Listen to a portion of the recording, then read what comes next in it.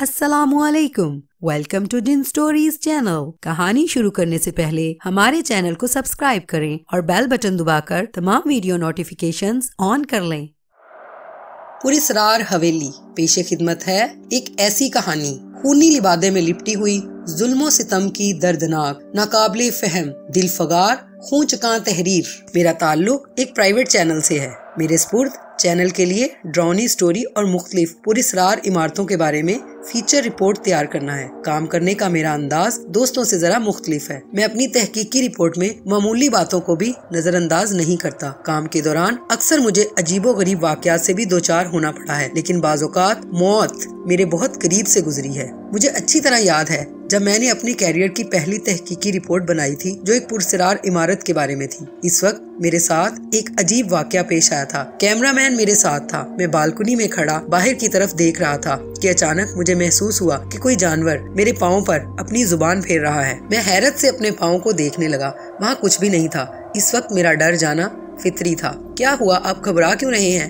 Camera مین ندیم نے پوچھا۔ یہاں تمہیں کچھ نظر آ رہا ہے؟ میں نے اپنے خشک ہوتے ہونٹوں پر زبان پھیری۔ نہیں، یہاں تو کچھ بھی نہیں ہے، ندیم نے کہا۔ لیکن مجھے ایسا احساس ہو رہا ہے کہ جیسے یہاں کچھ ہے۔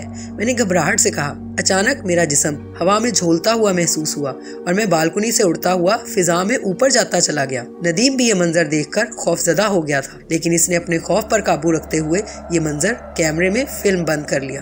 پھر مجھے ایک جھٹکا لگا اور میں کلا بازی کھاتا ہوا تیزی سے زمین کی طرف گرنے لگا۔ موت لمحہ و لمحہ میرے قریب آ رہی تھی کہ اچانک زمین پر گرنے سے پہلے میرے ہاتھ میں بالکونی کی گرل کا پائپ آ گیا۔ میں نے اس گرل کو مضبوطی سے تھام لیا اور میری جان بچ گئی۔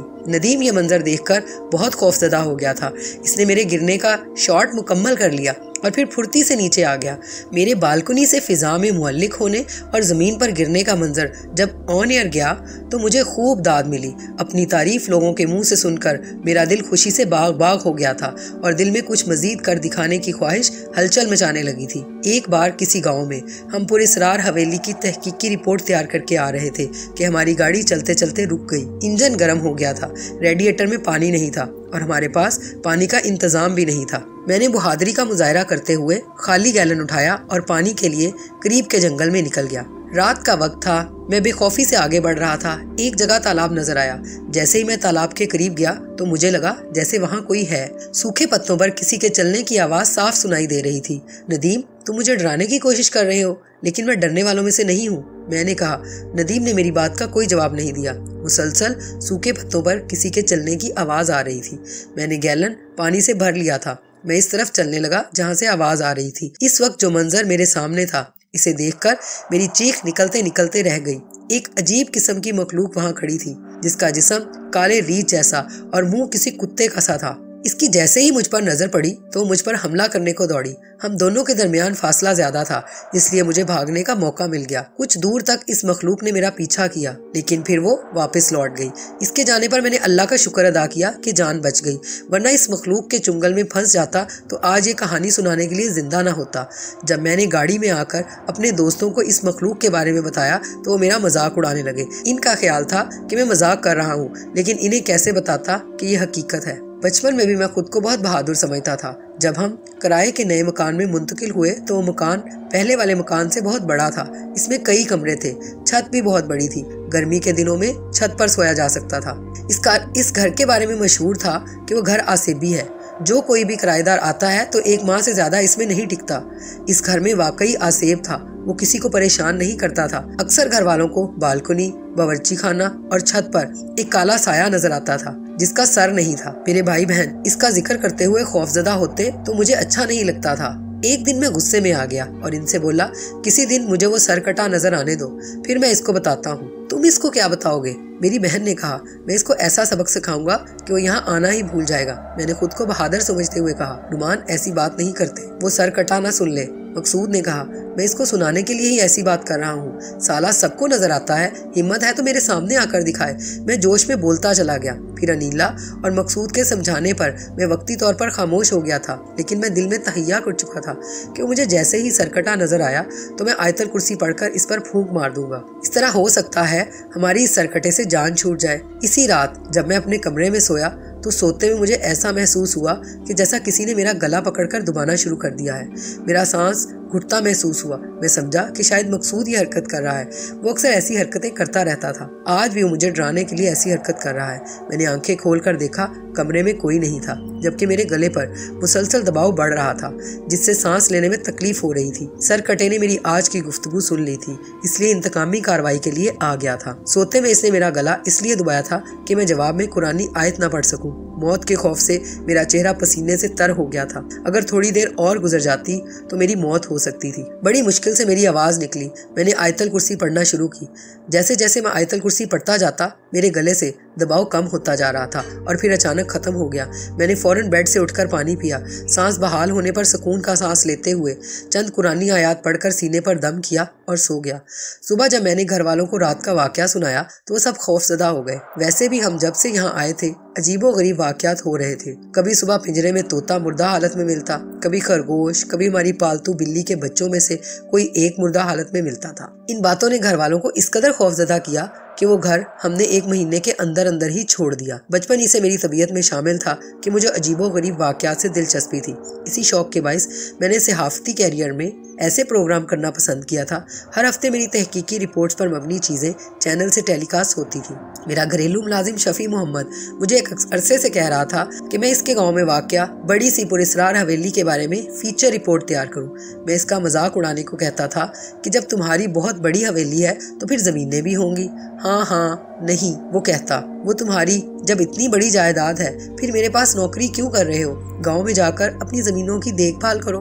صاحب، میرا دل بہت کرتا ہے کہ زمینوں کی دیکھ بھال کروں، لیکن میرے والد نور محمد نے مرتے وقت سخت الفاظ میں کہا تھا کہ زندگی میں کبھی بھول کر بھی گاؤں کا رخ نہ کروں۔ پتہ نہیں ان کے دل میں گاؤں کا کیا خوف بیٹھ گیا تھا۔ میری ماں بھی مجھے گاؤں جانے نہیں دیتی تھی۔ پھر میں کس طرح تمہاری پوری سرار حویلی کے بارے میں فیچر رپورٹ تیار کر سکوں گا؟ میں کہتا ہوں صاحب، جب پوری سرار حویلی کے بارے میں فیچر رپورٹ تیار کرنا ہو تو مجھے بتا دینا۔ میں اپنی ماں کو یہ نہیں بتاؤں گا کہ کس گاؤں جا رہے ہیں، بلکہ کہہ دوں گا کہ صاحب مجھے شوٹنگ کے لیے کہیں لے جا رہے ہیں۔ تمہارے والد اور والدہ نہیں چاہتے کہ تم گاؤں جاؤ۔ میں نے پوچھا، میں وہ راز جاننا چاہتا ہوں کہ جس کی بنا پر مجھے وہاں جانے سے منع کیا جاتا ہے۔ اس نے کہا، شفیع محمد کا اصرار جب بہت بڑا، تو میں بھی اس کے گاؤں جا کر فیچر رپورٹس بنانے کو تیار ہو گیا۔ جب ہم گاؤں روانہ ہوئے، تو شفیع بہت خوش تھا۔ ایسا لگتا تھا کہ اس کی دلی مراد پوری ہونے والی ہے۔ میں نے شفیع کو سختی سے منع کیا تھا کہ گاؤں میں وہ اپنے بارے میں کسی کو نہ بتائے، اور وہ اسی پرسرار حویلی والوں کے خاندان کا ایک فرد ہے۔ اس نے مجھ سے وعدہ کیا تھا کہ وہ کسی کو اپنے بارے میں نہیں بتائے گا۔ جب ہم گاؤں پہنچے تو دوپہر ہو چکی تھی۔ گاؤں والوں نے ہمیں دیکھ کر ایسا گھیرا ڈال دیا تھا کہ جیسے ہم کسی اور سیارے کی مخلوق ہوں۔ دراصل ہمارا چینل بہت دیکھا اور پسند کیا جاتا تھا۔ میرا پروگرام لوگوں میں بہت مقبول تھا، اس لیے مجھے اور کیمرہ مین کو دیکھ کر وہ سمجھ گئے تھے کہ ہم یہاں کسی خاص مقصد کے تحت آئے ہیں۔ گاؤں کے کئی لوگ ہمیں پورے سرار حویلی لے گئے۔ ہم نے دن کی روشنی میں حویلی کے باہر اور اندر سے مختلف مناظر فلم بند کیے۔ حویلی واقعی بہت پرسرار تھی۔ اب تک میں نے جتنی بھی حویلیاں دیکھی تھی ان میں یہ سب سے خوبصورت حویلی تھی۔ شفیع محمد حویلی دیکھ کر ایسے دیوانہ ہوا جا رہا تھا کہ جیسے اسے کوئی خزانہ مل گیا ہو۔ وہ حویلی کی ایک ایک چیز کو بڑے غور سے دیکھ رہا اور خوش ہو رہا تھا۔ میں نے اس کے کان کے پاس جا کر ہلکے سے کہا، شفیع محمد، اپنے وعدے کا پاس رکھنا۔ جی صاحب، وہ میری طرف دیکھتے ہوئے بولا، تم اس پرسرار حویلی کے بارے میں کتنی ہی تفصیلی رپورٹ تیار کر لو۔ لیکن وہ ادھوری ہی رہے گی۔ ایک بزرگ نے میرے قریب آتے ہوئے کہا، وہ کیسے؟ میں نے پوچھا، میں تمہارا پروگرام ہر ہفتے بہت شوق سے دیکھتا ہوں۔ اس لیے میرے ذہن میں یہ بات ہے کہ اس حویلی میں رہنے والا کوئی بھی شخص اب اس دنیا میں نہیں رہا، لیکن ایک شخص ایسا ہے جو تمہیں راز کی بات بتا دے۔ اگر تم اس سے وہ راز اگلوا سکو، جس کے سبب یہ حویلی اسیبی حویلی میں تبدیل ہو گئی ہے۔ اس نے کہا، اس کی بات پر مجھے حیرت کا جھٹکا لگا، کیونکہ واقعی وہ درست کہہ رہا تھا۔ ہمارے پاس کوئی بھی شخص ایسا نہیں تھا۔ شفیع محمد خود وہ راز جاننے کے لیے ہمارے ساتھ یہاں تک چلا آیا تھا۔ وہ کون ہے؟ میں نے بزرگ سے پوچھا۔ وہ دینو بابا ہے جو یہاں سے دور ایک جھونپڑی میں رہتا ہے۔ اس حویلی کا سب سے پرانا اور وفادار نوکر۔ لیکن ان دنوں قسمہ پرسی کی زندگی گزار رہا ہے۔ دن میں بھیک مانگنے کے لیے دور تک چلا جاتا ہے۔ اس کا ایک اچھا دن گزر جائے۔ بزرگ نے کہا، بزرگ کی بات نے میرے تجسس کی حص کو جگا دیا تھا اور میں یہ جاننے کے لیے بے چین ہو گیا تھا کہ اس راز سے پردہ اٹھاؤں، جس کے سبب یہ حویلی ویران اور اسیبی ہوئی ہے۔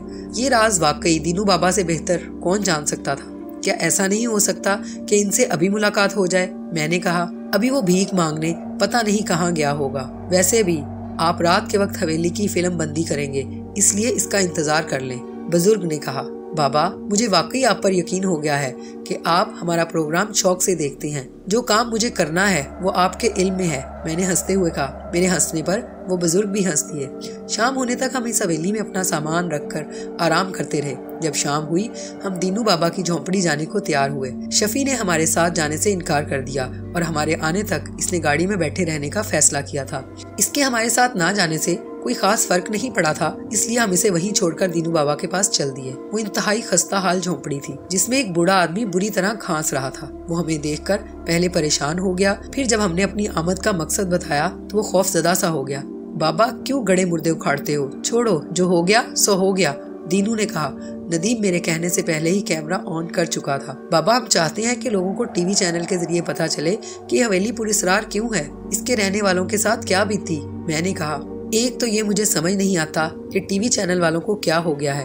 جو کام کرنا ہے وہ نہیں کرتے، بلکہ چھوٹی چھوٹی باتوں کے لیے محلوں اور گلیوں میں گھومتے پھرتے ہیں۔ چھوڑو، تم کوئی ڈھنگ کا کام کرو تاکہ تمہارا افسر تم کو شاباش دے۔ یہ کیا پرانی بات پوچھنے آ گئے؟ جو بات گزر گئی، وہ گزر گئی۔ دینوں نے افسردہ ہوتے ہوئے کہا، بابا، ہم بڑی امید سے آپ کے پاس آئے ہیں۔ ایک آپ ہی ہیں جو ہمیں اس راز کے بارے میں معلومات دے سکتے ہیں۔ میں کیا کروں؟ تم اتنی دور سے آئے ہو۔ مسافر ہو، ہم گاؤں والے مسافر کو اپنا مہمان سمجھ کر ان کا بہت خیال کرتے ہیں۔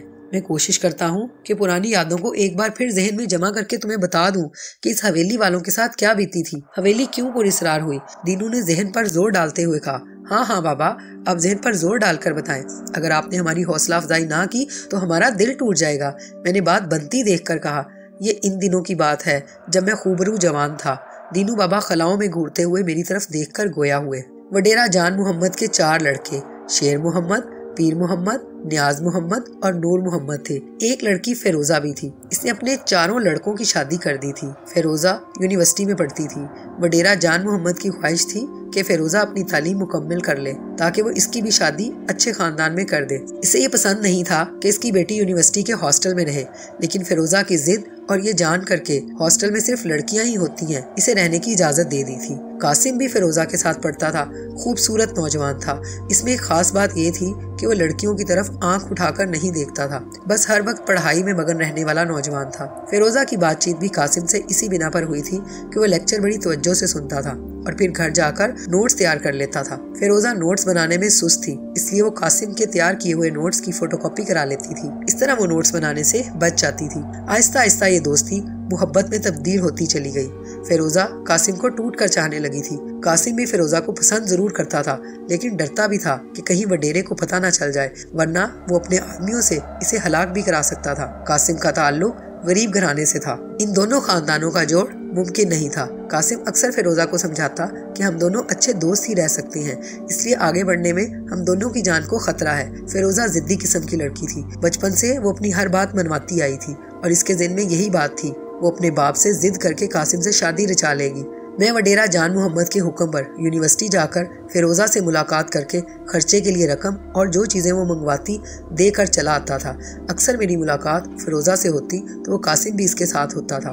فیروزہ جیسے ہی کسی سہیلی کے پاس جاتی، قاسم اس کی غیر موجودگی کا فائدہ اٹھا کر مجھے کہتا کہ فیروزہ آگ اور پانی کا کھیل کھیل رہی ہے۔ تم اس کو سمجھاؤ کہ مجھے حاصل کرنے کا خیال دل سے نکال دے۔ وڈیرا جان محمد اس رشتے پر تیار نہیں ہوگا۔ ممکن ہے کہ میری جان کا دشمن ہو جائے۔ میں اس کو سمجھاتا کہ تم فکر نہ کرو، ایسی نوبت نہیں آئے گی۔ میرے ذہن میں یہ بات ہے کہ فیروزہ وڈیرا جان محمد کی کمزوری ہے۔ اگر اس نے قاسم سے شادی کرنے کی ضد کی تو وہ ہرگز انکار نہیں کرے گا اور اس رشتے پر تیار ہو جائے گا۔ قاسم ایک خوبصورت نوجوان تھا۔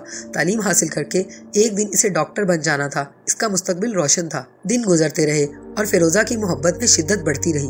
قاسم بھی خوش تھا۔ اس کے والدین نے جو خواب دیکھا تھا، اس کی تکمیل جلد ہونے والی تھی۔ پھر ایک دن فیروزہ اور قاسم دونوں ڈاکٹر بن گئے۔ ڈاکٹر بننے پر وہ دونوں ایک دوسرے سے دور ہو گئے۔ قاسم شہر میں اور فیروزہ گاؤں میں تھی۔ قاسم کے بغیر فیروزہ کا گاؤں میں دل نہیں لگتا تھا۔ اس نے وڈیرا جان محمد سے شہر میں کلینک کھولنے کی اجازت مانگی۔ تو اس نے صاف انکار کرتے ہوئے اسے بتایا کہ اس نے وڈیرے رحیم بخش کے بیٹے مولا بخش سے اس کی شادی کرنے کی بات پکی کر دی ہے۔ جلد ہی وہ باقاعدہ منگنی کی رسم ادا کرنے آنے والے ہیں۔ فیروزہ کو مولا بخش بالکل بھی پسند نہیں تھا، اس لیے اس کا احتجاج کرنا فطری رد عمل تھا۔ فیروزہ نے اس رشتے پر اعتراض کرتے ہوئے قاسم سے شادی کی خواہش ظاہر کر دی۔ وڈیرا جان محمد اپنی بیٹی سے اپنی پسند کی شادی پر بھڑک اٹھا اور اس کے باہر نکلنے پر پابندی لگا دی اور اس نے وڈیرا رحیم کو منگنی کی رسم جلد ادا کرنے کو کہا۔ وڈیرا رحیم بخش بھی یہی چاہتا تھا کہ جلد سے جلد منگنی کی رسم ادا ہو جائے۔ دونوں طرف منگنی کی رسم کی تیاریاں زور و شور سے ہونے لگی تھی یہ کہتے ہوئے دینو بابا کچھ دیر کو خاموش ہو گیا۔ میں اور میرے ساتھی غور سے دینو بابا کو دیکھ رہے تھے۔ وہ مسکرایا اور پھر پانی کا ایک گلاس پی کر ہم سے مخاطب ہوا۔ ہم دلچسپی سے بابا کی طرف دیکھ رہے تھے۔ اس روز میں کسی کام سے حویلی کے ایک کمرے میں گیا تھا۔ مجھے ایسا محسوس ہوا۔ فیروزہ کسی سے بات کر رہی ہے۔ کمرے کی کھڑکی۔ کھلی ہونے کی بنا پر برابر کے کمرے سے فیروزہ کی آواز سنائی دے رہی تھی۔ وہ کہہ رہی تھی، قاسم، تمہیں ہر حالت میں آنا ہے، ورنہ میں زہر کھا کر خودکشی کر لوں گی اور اس کی ساری ذمہ داری تم پر ہوگی۔ میں کچھ نہیں جانتی، تمہیں کار لے کر آنا ہے، میں اپنے سامان کا بیگ تیار رکھوں گی۔ ایک بار ہماری شادی ہو جائے، پھر بابا خود ہی مان جائیں گے اس رشتے پر۔ یہ کہتے ہوئے اس نے فون بند کر دیا۔ فون بند کر کے وہ جیسے ہی اس کمرے سے باہر جانے لگی، کھڑکی سے اس کی نظر مجھ پر پڑی۔ وہ بری طرح چونکی اور پھر کھڑکی میں منہ کر کے بولی دینو، تم نے کچھ نہیں سنا ہے، یہ دماغ میں رکھ لو۔ مجھے خاموش دیکھ کر وہ پھر بولی، اگر سن بھی لیا ہے تو یہی سمجھو کہ تم نے کچھ نہیں سنا۔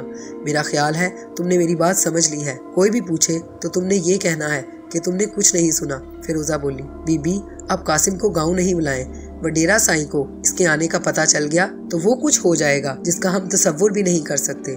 میں نے فیروزہ کو سمجھانا چاہا۔ فیروزہ اس وقت کچھ سمجھنے کو تیار نہیں تھی۔ اس کی ضد یہی تھی کہ میں اپنی زبان کو بند رکھوں۔ میں نے حامی بھر لی، جس پر وہ مطمئن ہو گئی۔ پھر وہی ہوا، جس کا مجھے ڈر تھا۔ تین دن بعد، رات کی تاریکی میں، فیروزہ اپنا سفری بیگ لیے، حویلی سے نکلی۔ وہ ڈیرا جان محمد کی اتفاق سے آنکھ کھل گئی۔ اس نے بستر سے اٹھ کر ایسے ہی کھڑکی سے باہر جھانکا۔ فیروزہ حویلی کا باہر کا گیٹ کھول کر جا رہی تھی۔ وڈیرا جان محمد کو حیرت کا جھٹکا لگا، لیکن اس کے ذہن میں اور ہی بات تھی۔ اس لیے کوئی شور شرابہ نہ کیا۔ وہ خاموشی سے کمرے سے نکلا، حویلی کے پہرے داروں کو جگا کر اپنے ساتھ لیا اور خاموشی سے فیروزہ کا پیچھا کرنے لگا۔ وہ پیچھا اس خاموشی سے کر رہے تھے کہ فیروزہ کو ذرا بھی شک نہ ہوا۔ وہ خاموشی سے آگے بڑھتے ہی جا رہی تھی۔ قاسم اس کو کچھ فاصلے پر نظر آیا۔ وہ لپک کر اس کے پاس جا پہنچی۔ کیا کار نہیں لائے؟ اب ہم کیسے شہر جائیں گے؟ فیروزہ نے کہا کار میں لے کر آیا ہوں۔ لیکن احتیاط کے طور پر کاج کار کچھ فاصلے پر کھڑی ہے کہ کسی کو شک نہ ہو۔ قاسم نے کہا، کسے شک ہوگا؟ پوری بستی کے لوگ سو رہے ہیں۔ کسی کو کانو کان پتہ بھی نہیں چلے گا اور ہم گاؤں سے فرار ہو جائیں گے۔ فیروزہ نے کہا، فیروزہ، ایک بار پھر سوچ لو۔ کل کہیں تمہیں پچھتانا نہ پڑے۔ ہمارے اس اقدام سے تم اپنے خاندان سے ہمیشہ کے لیے کٹ جاؤ گی۔ قاسم نے کہا، میں نے خوب سوچ لیا ہے۔ تم جلدی چلو۔ کہیں حویلی میں میری گمشدگی کی۔ کسی کو خبر نہ ہو جائے اور پکڑ لیے جائے۔ فیروزہ نے قدم آگے بڑھاتے ہوئے کہا، جواب میں قاسم نے بھی قدم آگے بڑھائے، لیکن اس کے قدم رک گئے۔ وہ چاروں طرف سے گھیر لیے گئے تھے، ان پر بندوقیں تنی ہوئی تھیں۔ خوف سے دونوں کے چہرے فک ہو گئے۔ ان کے وہم و گمان میں بھی نہیں تھا کہ اس طرح پکڑے جائیں گے۔ فیروزہ کو وڈیرا جان محمد پکڑ کر حویلی کے اندر لے گیا۔ جبکہ قاسم کو حویلی کے ستون سے باندھ دیا گیا۔ صبح ہونے پر وڈیرا جان محمد کو قاسم نے صاف صاف بتا دیا تھا کہ اس کا ارادہ فیروزہ کو لے جانے کا نہیں تھا اور وہ فیروزہ کو اپنی جان دینے کی دھمکی پر مجبور ہو کر گاؤں سے لینے آیا تھا۔ وڈیرا کو بہت غصہ تھا۔ اسے اپنی بیٹی فیروزہ سے اس طرح کی حرکت کی بالکل توقع نہ تھی۔ قاسم بے قصور تھا، لیکن وہ حویلی کی دوسری لڑکیوں کو ایسا سبق سکھانا چاہتا تھا کہ وہ بھی مستقبل میں ایسا کوئی قدم نہ اٹھا سکے۔ اس واقعے سے نصیحت پکڑے۔ ایک دن وڈیرے جان محمد نے حویلی کے میدان میں قاسم کے ہاتھ پاؤں رسیوں سے باندھ کر ڈال دیا۔ حویلی کے مرد اور عورتوں کو بھی میدان سے کچھ فاصلے پر کرسیاں ڈال کر بٹھایا گیا۔ سب حیرت زدہ تھے کہ دیکھیں وڈیرا کیا کرتا ہے۔ وڈیرے نے جیسے ہی اپنے ہاتھ کے اشارے سے ملازم کو حکم دیا تو اس نے دو دن کے بھوکے کتے قاسم پر چھوڑ دیے۔ وہ قاسم پر ایسے لپکے جیسے شکار پر لپکتے ہیں۔ کتوں نے قاسم کے جسم میں اپنے خون خوار دانت پیوست کر دیے۔ قاسم کتوں کے حملے سے بوکھلا گیا۔ وہ چیخو پکار کر رہا تھا، لیکن اس کی چیخو پکار سننے کو کوئی بھی تیار نہ تھا۔ چیختے چلاتے وہ بے دم سا ہونے لگا۔ اس کے جسم سے گوشت نوش نوش کر کتے کھا رہے تھے۔ حویلی کے سبھی لوگ ایک انسان کو کتوں کی خوراک بنتا دیکھ رہے تھے، لیکن کسی کی ہمت نہیں ہو رہی تھی کہ وہ کتوں سے قاسم کی جان بخشی کرا سکے۔ وہ سب سکتے کی حالت میں تھے۔ کسی کو بھی وڈیرے سے اس قسم کی امید نہیں تھی۔ وڈیرا، تو نے جان بوجھ کر مجھے بے قصور کتوں کی خوراک بنا دیا ہے، لیکن مرنے کے بعد بھی میری روح تجھ سے انتقام لے گی۔ اس حویلی کے ایک ایک فرد سے انتقام لے گی، کیونکہ سب نے مجھ کو کتوں کی خوراک بنتے دیکھا ہے۔ لیکن کسی نے بھی مجھے ان سے چھڑایا نہیں۔ قاسم نے چلاتے ہوئے کہا، وڈیرا نے زوردار کہکا لگایا اور اسے مخاطب کرتے ہوئے بولا، تو انتقام لے گا، تو اپنی جان تو بچا نہ سکا، ہم سے کیا خاک انتقام لے گا؟ میں نہیں، بلکہ میری روح تجھ سے انتقام لے گی۔ قاسم نے کہا، سب بکواس باتیں ہیں۔ مرنے والے اس بے جان پتھر کی مانند ہوتے ہیں، جو اپنی مرضی سے حرکت نہیں کر سکتے۔ وڈیرا جان محمد نے کہا، یہ وقت بتائے گا۔ یہ کہتے ہوئے قاسم نے اپنی جان دے دی۔ وڈیرا اپنی کرسی سے اٹھ کر حویلی کے اندر چلا گیا۔ اس کے چہرے پر فاتحانہ مسکراہٹ تھی۔ اس واقعے سے اس نے حویلی کی خواتین کو سبق سکھا دیا تھا کہ آئندہ کسی نے فیروزہ جیسی حرکت کی تو اس کا انجام بھی بہت بھیانک ہوگا۔ قاسم کے مرنے کے بعد ابھی ایک ہفتہ بھی نہیں گزرا تھا کہ حویلی میں رات کے وقت پر اسرار قسم کی آوازیں آنے لگی رات کے سناٹے میں وہ آوازیں کمزور دل کے مالک کو ڈرا دینے کے لیے کافی تھی ایک رات وڈیرے جان محمد کا بڑا بیٹا اچھا بلا سویا تھا کہ صبح ہونے پر بستر پر پردہ حالت میں پایا گیا۔ ابھی اس کا انتقال ہوئے تین دن ہی ہوئے تھے۔ چوتھے روز دوسرا بیٹا پیر محمد بھی بستر پر مردہ حالت میں پایا گیا اور دو اموات نے گھر بھر کے افراد کو ہلا کر رکھ دیا۔ ایک ہفتہ سکون سے گزرا تھا کہ وڈیرے کا تیسرا بیٹا نیاز محمد بھی اپنے بستر پر مردہ حالت میں پایا گیا۔ وڈیرا جان محمد اس واقعے پر ہل کر رہ گیا۔ چوتھے بیٹے نور محمد پر خوف تاری ہوا کہ وہ اپنی بیوی اور بیٹے سمیت حویلی سے کسی کو بتائے بغیر غائب ہو گیا۔ وہ ڈیرا جان محمد کی کچھ سمجھ میں نہیں آ رہا تھا کہ وہ کیا کرے۔ سوچتے سوچتے اس کے ذہن میں یہی بات آئی کہ کسی عامل سے اس کا سہارا لینا چاہیے۔ زندگی بھر وہ جادو ٹونے سے دور رہا تھا، لیکن اب جادو ٹونے کا سہارا لینا اس کی مجبوری بن گیا تھا۔ صبح کے وقت وڈیرا نے مجھے بلا کر کہا، دینو، تم نے عامل نوید شاہ کا آستانہ دیکھا ہے؟ ہاں ہاں وہ گاؤں سے کچھ فاصلے پر ہے، میں نے کہا، پھر تم جلدی سے میرے ساتھ چلو۔ ہمیں ابھی اسی وقت عامل نوید شاہ کے پاس چلنا ہے۔ وڈیرا گھوڑے کی طرف بڑھتے ہوئے بولا، سائیں، ادی فیروزہ کو پتا نہیں کیا ہو گیا ہے، درد سے بری طرح چلا رہی ہے۔ اللہ بچائی نے آ کر بتایا۔ وڈیرا الٹے قدموں حویلی میں دوڑا۔ واقعی فیروزہ بے آب مچھلی کی طرح زمین پر اچھل رہی تھی۔ تکلیف اس سے برداشت نہیں ہو رہی تھی۔ فیروزہ کو فوری طور پر شہر کے ہسپتال لے جانے کے لیے تیاریاں کی جا رہی تھی کہ اس نے دم توڑ دیا۔ فیروزہ سے وڈیرے کو بہت محبت تھی۔ فیروزہ کی اس طرح موت پر وڈیرے کی حالت پاگلوں کسی ہو گئی تھی۔ سوئم والے دن جب حویلی کے میدان میں گاؤں کے لوگ بیٹھے تھے، اچانک حویلی کے ایک کمرے کی گیلری سے وڈیرے جان محمد کی بیوی دھڑام سے نیچے گری اور اس وقت اس نے دم توڑ دیا۔ وہ بھی بیٹی کا صدمہ نہیں بھول پایا تھا۔ بیوی بھی ساتھ چھوڑ گئی تھی۔ وڈیرے نے کئی بار عامل نوید شاہ سے مدد لینا چاہی، لیکن کوئی نہ کوئی ایسا مسئلہ آ جاتا کہ وہ اس کے پاس نہیں جا پاتا۔ الغرض، وڈیرے کی تینوں بیٹوں کی بیویاں اور ان کے بچے ایک ایک کر کے وڈیرے جان محمد کے سامنے دم توڑ گئے۔ وہ انہیں بالکل بھی نہ بچا سکا۔ لگاتار صدمے ملنے پر وڈیرا جان محمد اپنے حواس کھو بیٹھا اور گاؤں میں پاگلوں جیسی حرکتیں کرتا پھرتا تھا۔ دن بھر پھٹے پرانے کپڑے پہنے، مٹی اور دھول سے کھیلتا رہتا۔ بچوں کو اچھی تفریح مل گئی تھی۔ اسے دیکھ کر وہ پاگل پاگل کے نعرے لگاتے۔ جواب میں وڈیرا جان محمد زور زور سے ہنستا ہوا انہیں پتھر مارنے کو دوڑتا۔ اسے اپنے پیچھے آتا دیکھ کر بچے رفو چکر ہو جاتے۔ ایک دن وڈیرا جان محمد کی لاش حویلی کے مین گیٹ کے پاس سے ملی تھی۔ ایسا لگتا تھا جیسے کسی خونخوار جانور نے اس پر حملہ کر کے ہلاک کیا ہے۔ وڈیرے جان محمد کی ہلاکت کے بعد سے وہ حویلی ویران ہے۔ کوئی رات تو دور، دن میں بھی اس میں جانے سے کتراتے ہیں۔ دینو بابا یہ کہتے ہوئے خاموش ہو گیا۔ حویلی کے بارے میں اتنے سنسنی خیز انکشافات سن کر مجھے تشویش پیدا ہو گئی تھی کہ کہیں واقعی شفیع محمد کا تعلق بھی وڈیرا جان محمد کے خاندان سے نہ ہو۔ ایسا ہونے کی صورت میں ہمیں اسے بچانا تھا۔ میں اپنے ساتھیوں کے ساتھ حویلی پہنچا۔ ہماری کار حویلی کے باہر موجود تھی۔ شفیع کار میں نہیں تھا۔ کار میں اس کا نہ ہونے کا مطلب یہی تھا کہ وہ ضرور حویلی کے اندر ہی ہوگا۔ مجھے بدہواسی کی حالت میں حویلی میں داخل ہوتا دیکھ کر ندیم چونکا، کیا ہوا؟ تم سب میرے پیچھے آؤ۔ میں نے کہا۔ مجھے گھبرایا ہوا دیکھ کر وہ بھی میرے پیچھے لپکے۔ شفیع محمد کی وہاں غیر موجودگی ظاہر کر رہی تھی کہ وہ حویلی کے کس کمرے میں گیا ہے۔ میں نے اسے آواز دی، لیکن جواب میں میری آواز ہی پلٹ کر آ گئی۔ شفیع محمد کے جواب میں آواز سنائی نہ دینے سے مجھے سخت تشویش ہو رہی تھی۔ گھبراہٹ سے میرے چہرے پر پسینے آ گئے تھے۔ میں بھاگتا ہوا حویلی کے اندر مختلف کمروں میں شفیع محمد کو تلاش کر رہا تھا۔ اچانک ایک کمرے میں شفیع محمد نظر آ گیا۔ وہ اطمینان سے ایک پلنگ پر لیٹا ہوا تھا۔ ہم اس کے لیے پریشان ہو رہے ہیں اور وہ دیکھو کتنے مزے سے پلنگ پر سو رہا ہے۔ شفیع محمد، یہ کیا حرکت ہے؟ میں زور سے چیخا۔ میرے چیخنے پر بھی اسے کچھ اثر نہیں ہوا تھا۔ میں غصے میں بھر کر جیسے ہی کمرے میں داخل ہوا، میری نظر فرش پر پڑی۔